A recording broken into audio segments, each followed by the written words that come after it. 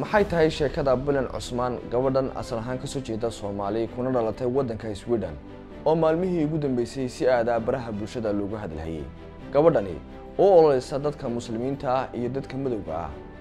Maxay tahay sababta loo hadalhayaa maxaysi samaysay? Sheekadeennan ayaanu kaga bogan doonaa. Bilan cusmaan oo ku nool waddanka sweden ayaa maalmihii la soo dhaafay hadalhayn ka dhalaysay guud ahaanba baraha bulshada gaar ahaana dalkaasi kadib hadal uu sheegay nin isagu dalkaasi ka soo jeeda. Gabadhan oo wariye ah asalkeeduna soomaali yahay ayaa ka ololeysa arrimaha islaam nacaybka iyo kooxaha midigta fog ee dalkaasi iyadoo ka qortay maqaalo badan oo ay kaga hadlayso arrimahaasi. Nin sida la sheegay isagoo wariye ah dalkaasina u dhashay ayay isbarteen kaas oo bilan qudheeda ay sheegtay inay laba sano xidhiir lahaayeen balse waxa uu sheegay inuu soo bandhigi doono caddeymo muujinaya waxa dhabtaa islaamku yahay sida ku xusan qoraal uu soo dhigay barta internetka. Arrintan ayaa hadal haweyn ka dhalisay baraha bulshada soomaalida iyo qurba joogtaba. Eedeymaha uu u soo jeediyey bilan ninkan lagu magacaabo christian peterson ayaa waxaa ka mid ah inay baahisay xogta ilwareedyo loo baahnaa in la qariyo. Duubis sir ah waxay ugu yaraan bilan cusmaan muujisay xogta ilwareedka expo ee dhaqdhaqaaqa taageersan sweden tan oo ah ayaa uu yidhi dembi lagu mutaysan karo xabsi. Hadalka ninkan kadib bilan ayaa barteeda twitterka soo dhigtay qoraallo taxano ah oo ay isku difaacayso kagana jawaabayso waxa uu sheegay ninkaasi.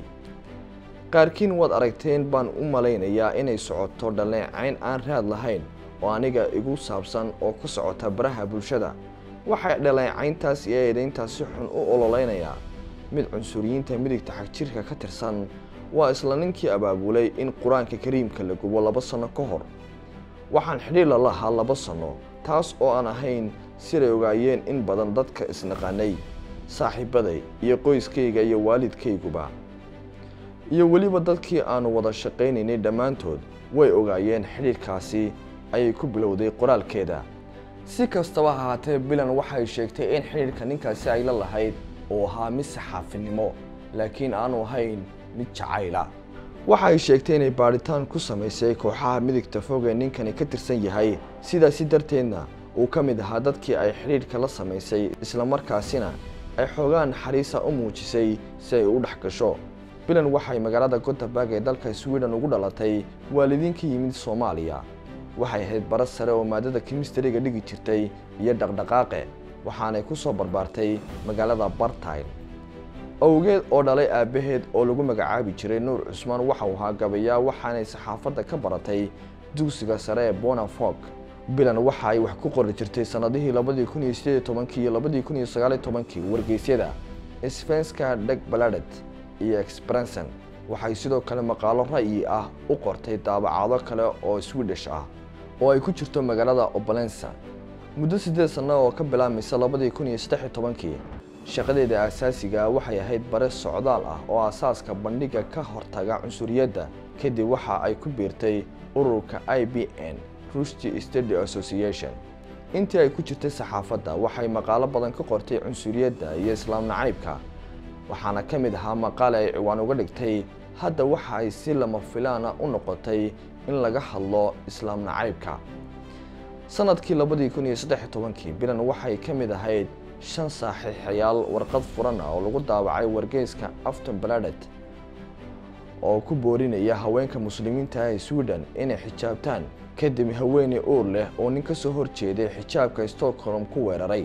Waxay markaasi sheegtay in kooxdu ay doonayso in xijaabka caadi ka noqoto sweden iyadoo ka jawaabaysa dilkii george floyd iyo dhaqdhaqaaqii black lives matter ee maraykanka bilan cusmaan waxay sheegtay inay rabtay inay bilowdo wadahadal ku saabsan caannimada gudaha sweden.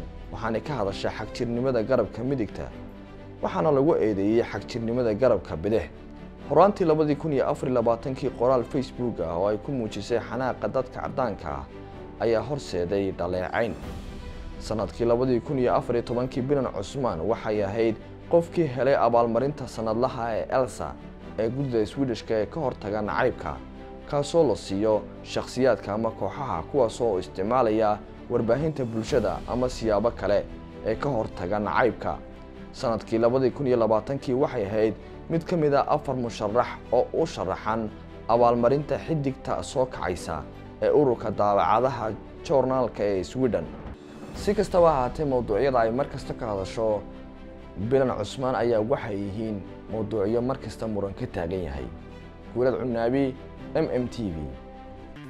Macmil ku shuba oo hel unlimited internet muddo afar labaatan saacadood ah adigoo isticmaalaya xidhmada kaynaan.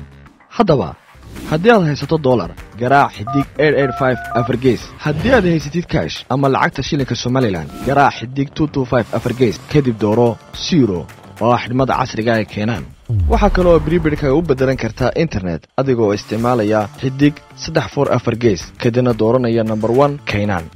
Macmiil waad ku guulaysatay xidhmada kaynaan oo kuu shaqaynaysaa muddo afar labaatan saacadood ah